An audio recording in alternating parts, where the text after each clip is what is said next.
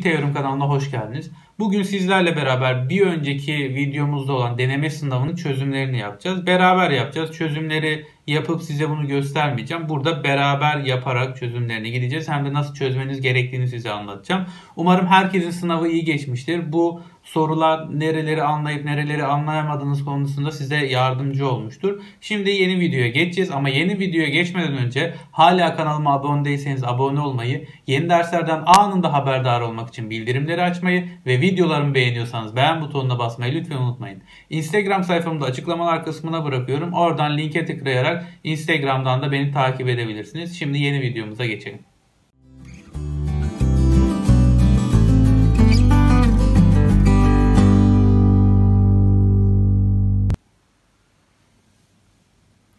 Evet, birinci soruyla başlıyoruz. Birinci soruda melodik minör ve armonik minör gamlar sormuştum size. Çözümleyerek gideceğiz ama ben burada nota değerlerini biraz düşüreceğim bir ölçü içerisine sığdırabilmek için. E, aksi takdirde sığmayacak. Tekrar kafanız karışmasın diye yeni yeni de ölçüler yazmadım. Onun için buradan devam edeceğim. Bunu siz birlik notalar ya da ikilik notalar ya da dörtlük notalar halinde de yazabilirsiniz. Onun bir önemi yok. Burada önemli olan melodik minörün kuralı neyse ona uymanız. Birinci soruda demiş ki bize mi melodik minör gam demiş. Mi melodik minör gam dediği için önce mi'den mi'ye yazıyoruz. Melodik minörün kuralı neydi? Çıkıcı ve inici yazmamız gerekiyordu. Çıkıcı ve inici olarak yazıyoruz. Mi'den başlayarak mi pardon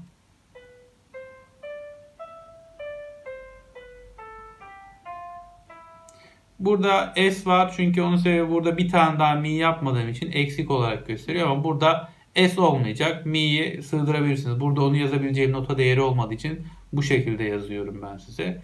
Şimdi kurallara bakalım. Mi'deki kural neydi? Mi melodik minördeki kural. Çıkıcı da yani şuradan mi'den mi'ye çıkarken 6. ve 7. sesi tizleştiriyoruz. İnicide de eski haline dönüyor. Yani 6 ve 7. ses natural olmuyor. Çıkıcı da tizleşmeden önce neyse o hale geri dönüyor. Şimdi mi melodik minör demiş. Yani mi minör bir gam. Mi minörün hangi değiştiricileri aldığını zaten siz biliyorsunuz. Tekrar bunu anlatmayacağım. Mi minörün ilgili majörü sol majör.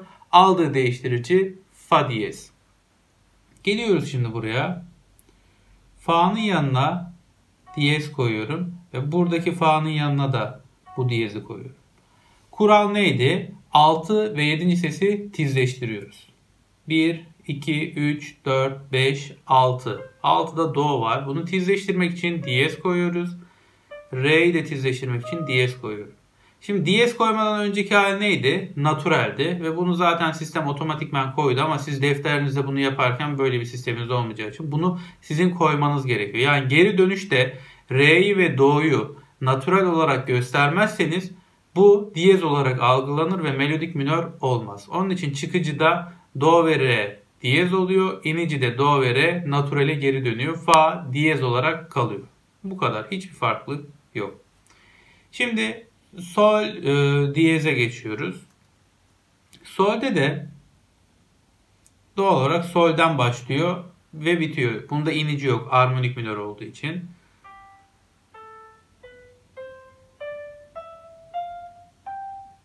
Direkt solde bitiriyoruz. Hatta bunu şu şekilde yazabilirim. Pardon.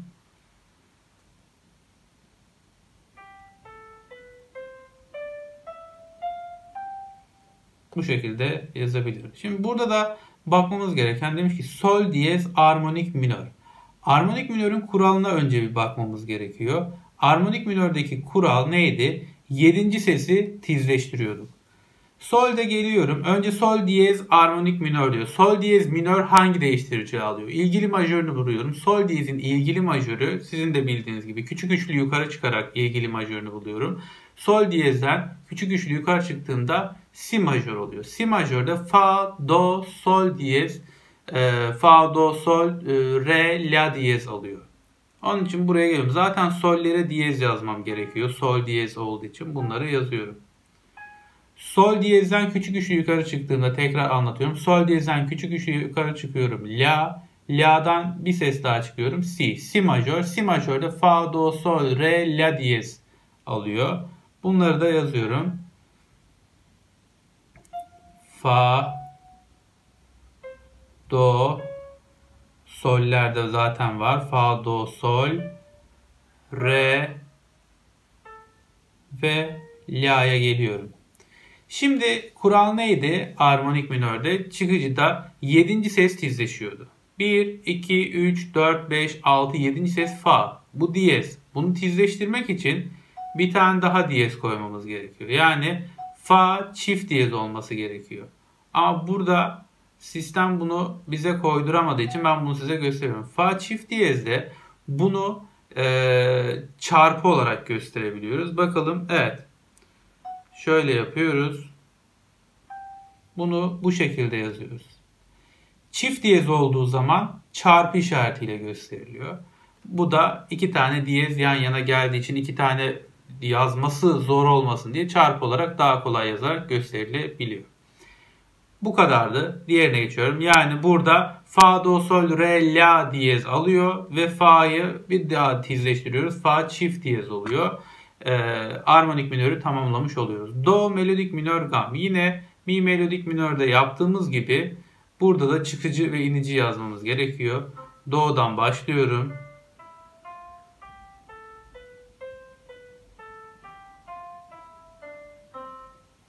Şimdi Do'yu da buraya yazdık. Bunlar tabi geniş olarak yazdığım için kaymalar oluyor, olacaktır. Yine bir tane do yazmadığım için burada S koymuş. Melodik minöre bakıyoruz yine. Do minör. Do minörün ilgili majörünü buluyorum. Yine küçük üçlü yukarı çıkıyorum. Mi bemol majör. Mi bemol majörün aldığı değiştiriciler neydi? Si, mi, la bemol. Bunların nasıl olduğunu anlatmıştım geçtiğimiz derslerde. Teori derslerinde eksiğiniz varsa bu konuları bir önceki videolarımdan bakabilirsiniz. Oynatma listesinde zaten hepsi başlık altında geçiyor. Hangi konularda eksiğiniz varsa oynatma listesinden onları seçip o konuları da tamamlayabilirsiniz eksikleriniz varsa. Mi bemol majör hangi değiştiricileri alıyor dedik? Si, mi, la. Si, mi, la. Bunların aynılarını buraya da yazıyorum.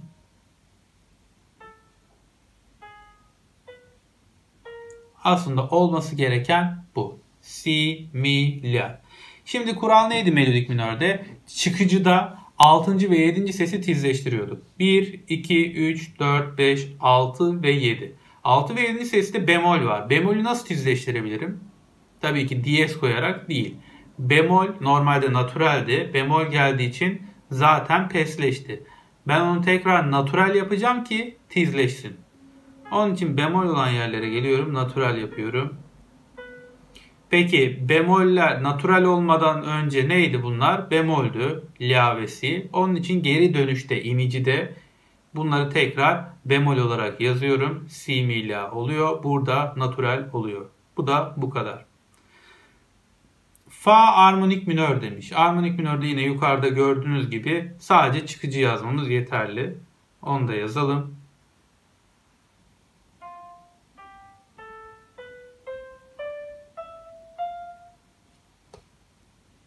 Bunu da yazdıktan sonra yine ilgili majörünü bulmamız gerekiyor. Küçük üçlü yukarı çıkıyorum. Fa, sol, la bemol. La bemol majörün aldığı değiştiricileri buraya yazıyorum. Çünkü ne demiştim? Bir majör ton hangi değiştiricileri alırsa ilgili minörde aynı değiştiricileri alır. La bemol majör. Si, mi, la, re bemol alıyor. Bunları geliyorum buraya yazıyorum. Si, mi, la ve re bemol. Bunları yazdım. Şimdi kural neydi harmonik minörde? 7. ses tizleşiyor. 1, 2, 3, 4, 5, 6, 7. ses mi bemol olmuş. Bunu tizleştirmek için natural yapıyorum. Çünkü tekrar ediyorum. Bemol koyduğum için pesleşmiş oluyor. Bunu tizleştirmek için tekrar natural koymam gerekiyor. Bu kadar. Başka bir cevabı yok bunun. Aynı şekilde bunları da yapıyorum. Sol melodik minör gam.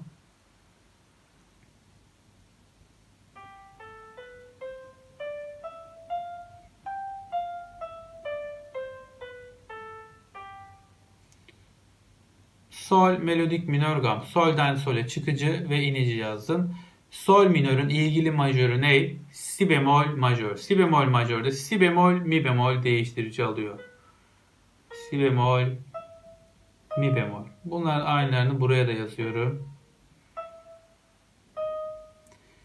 1, 2, 3, 4, 5, 6 ve 7. sesi tizleştirmem gerekiyor. 6. seste bemol var. Bunu tizleştirmek için natural koyuyorum. 7. ses natural. Naturali normal duruyor. Naturali tizleştirmem için diyez koymam gerekiyor. Fa'ya da diyez koyuyorum.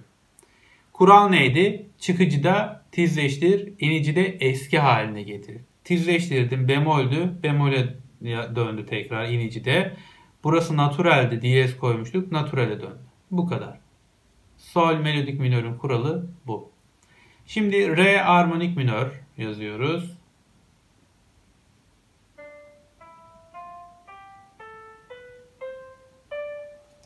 Armonik minördeki kuralda 7. ses tizleştir. Re minör, ilgili majörü fa majör. Sadece si bemol değiştirici alıyordu. Kural 7. sesi tizleştir. 7. seste de do olduğu için tizleştirmek için buna da diyez koyuyorum. La melodik minör gam. La melodik minör gamı yazıyorum.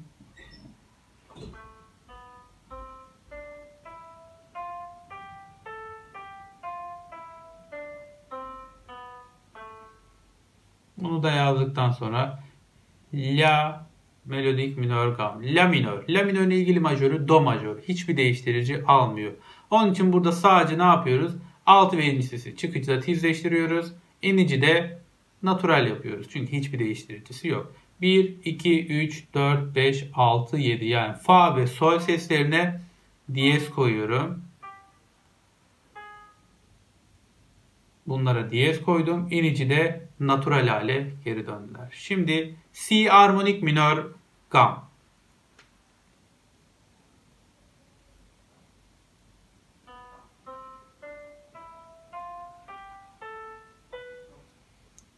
Si minör ilgili majörü re majör, fa diyez ve do diyez değiştirici alıyor.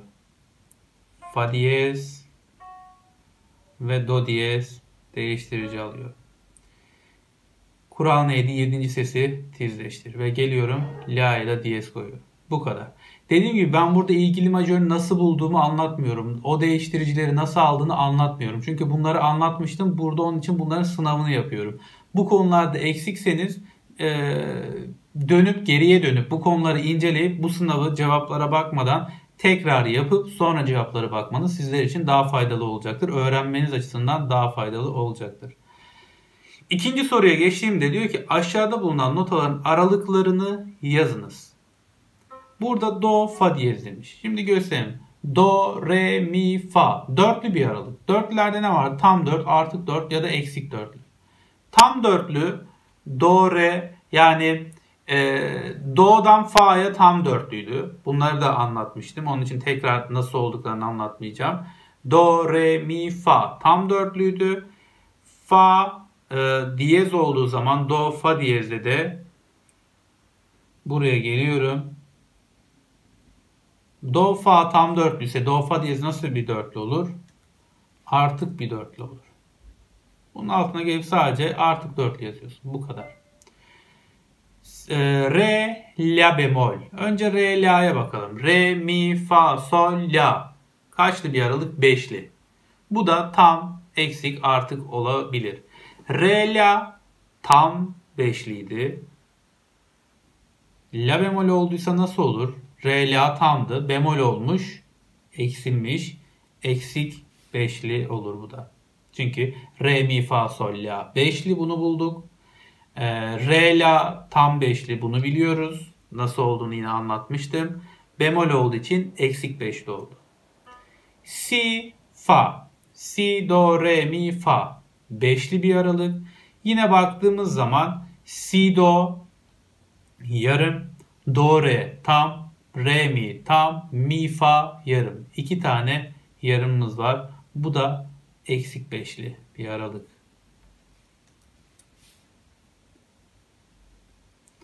Sonra re si.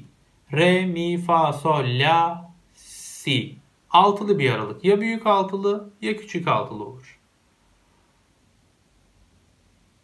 Sizce nasıl bir altılı? re, si, re, mi, fa, sol, la, si. Bir tane yarım var. Onun için küçük altılı. Pardon, büyük altılı. İki tane yarım olmuş olsaydı o zaman küçük altılı olacaktı. Fa, si. Fa, sol, la, si. Dörtlü bir aralık. Sizce nasıl bir dörtlü? Tam dörtlü bir aralık. Çünkü tam dörtlünün kaç tam kaç yarımdan oluşunu bilirseniz doğru yazarsınız. Ama burası artık dörtlü bir aralık. Çünkü fa sol tam, sol la tam, la si tam. Üç tane tam sesten oluştuğu için artık dörtlü bir aralık.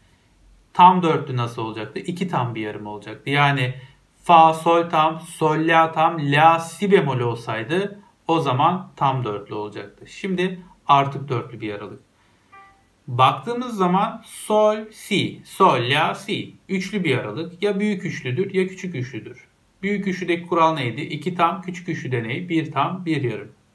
Peki burada nasıl bir aralık var? Sol, la, tam, la, si bemol, yarım. Bir tam, bir yarım. Yani küçük üçlü bir aralık. Sol, la, si, do, re bemol. Nasıl bir aralık? Beşli bir aralık. Yine burada baktığımızda e, sol, la, si, do, re olsaydı yani bir tane bemol yarım olmuş olsaydı bir tane yarım olduğu için tam beşli olacaktı. Ama burada re'ye de bemol geldiği için eksik beşli bir aralık. Çünkü sol, la tam, la, si tam, si, do yarım, Do, re bemol, yarım. 2 tam, 2 yarım. Eksik beşli. Burada da re, fa diyez. Re, mi, fa. Üçlü bir aralık. Ya büyük ya küçük üçlü olacak. Re, mi, tam, mi, fa diyez de tam. O zaman büyük üçlü bir aralık oldu. Bu kadardı. Yapacağımız başka bir şey yok. Üçüncü ve son soruya geliyorum. Demişim ki aşağıda yazan tonların ilgili majör minörlerini yazınız. Aldıkları değiştiricileri dizek üzerinde gösteriniz. Yani ben burada do diyez minör demişim. Siz onun ilgili majörü neyse onu yazacaksınız. Do diyez minör. İlgili majörü ne? Mi majör. Çünkü ilgili majörü nasıl buluyoruz? Küçük üçlü yukarı çıkıyorum. Küçük üçlü nasıldı? Şimdi söylemiştim. Bir tam, bir yarım ses. Do diyez re, yarım. Re mi, tam. Demek ki do diyez minörün ilgili majörü mi majörmüş. Mi majör hangi değiştiricileri alıyordu? Fa, do, sol, re diyez alıyordu. Buraya geliyorum. Fa, do, sol, re diyez. Bakın burada da zaten mi majör diye altında da yazıyor. E majör ya da do diyez minör olarak burada yazıyor zaten. Buraya geliyorum. Bunu gösteriyorum. Şöyle de yapabiliriz bunu. Pardon. Buradan göstermem daha rahat olacak. Sonra buraya geliyorum. Mi bemol majör. Mi bemol majörün ilgili minörünü yazacağız. Burada da demin yaptığımızın tam tersini yapıyoruz aslında. Demin bir buçuk ses yukarı çıkmıştık. Şimdi bir buçuk ses aşağı iniyoruz. Mi bemol majör. Aşağı indiğimizde ne oluyor? Do minör. Aslında şu yana bakarak düz mantıkla çözebilirsiniz. Mi majör, do diyez ise mi bemolde do olur. Mi bemol majör dediği için direkt bemollere bakacağız değiştiricilerde. Si, mi, la bemol. 3 tane bemol alacak. Buraya da geliyorum. Bunu yazıyorum. Bu kadar. Nasıl aldığını zaten siz biliyorsunuz diye ümit ediyorum. Bu sınavları yapıyorsanız bunları biliyor olmanız gerekiyor zaten. Hemen yana geçtim. Sol minör. Sol minörün ilgili majörü. Küçük üçlü yukarı çıkıyorum. Si bemol majör. Si bemol majör de si bemol mi bemol değiştirici alıyor. Bu kadar. Daha sonra geliyorum fa minör. Fa minörün Özür dilerim. Fa minörün ilgili majörünü yazıyorum yine. Fa, sol, la bemol. La bemol majör. La bemol majör de si, mi, la, re bemol alır. Si, mi, la, re. Zaten bakın burada da hemen çıktı. La bemol majör, fa minör olarak yazıyor. Daha sonra buraya geliyorum. Mi bemol minör. Mi bemol minörden küçük üçlü yine yukarı çıkıyor. Mi bemol, fa, sol bemol majör. Sol bemol majör de si, mi, la, re, sol, do. 6 tane bemol alıyor. Yani si, mi, la, re, sol, do. Burada dediğim gibi bunu da görebiliyorsunuz. Daha sonra re majöre geçtik. Hemen yanında. Re majörün ilgili minörü si minör. Zaten yukarıda bununla ilgili de yapmıştık aldığı değiştiricileri söylerken. Re majör ilgili minörü si minör. Re majörün aldığı değiştiricilerde fa diyez ve do diyez. Hemen yana geçiyorum. La majör. La majörden küçük üçlü aşağı iniyorum. Fa diyez. Pardon. Fa diyez. Minör. La majörün aldığı değiştiricilerde fa, do, sol diyez. 3 tane diyez alıyor. Onlar da geliyorum hemen buraya yazıyorum. Si majör. Si majörde yine küçük üçlü aşağı iniyorum. Si, la, sol diyez, minör. Si majörün aldığı değiştiricilerde fa, do, sol, re, la. 5 tane diyez alıyor. Fa, do, sol, re, la. Bunu da geliyorum buraya yazıyorum.